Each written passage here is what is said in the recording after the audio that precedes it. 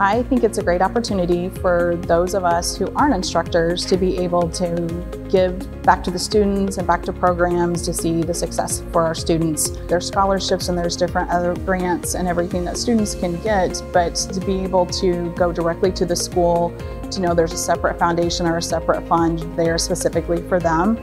and I think that's that's amazing because not every place that you give or you contribute do you actually see firsthand the impact that it has on our students. And I think it's just another way State Tech overall is dedicated to our students and their success at the end.